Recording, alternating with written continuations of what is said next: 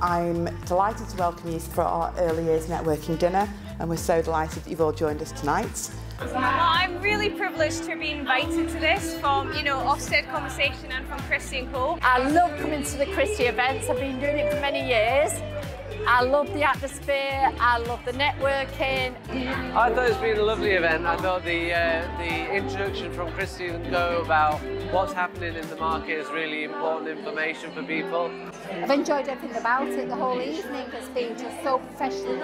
Uh, Jenny Johnson's speech was so amazing, so relatable and fun, and just networking with lots of other early years professionals within the sector.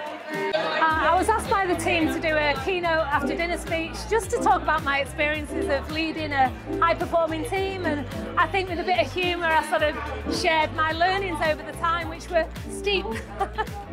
so I think that ability to share and come together is really valuable. I'm going to leave here with a lot more positive thoughts. So yeah, I really enjoy it. I love Christie's. I've been with them a long, long time.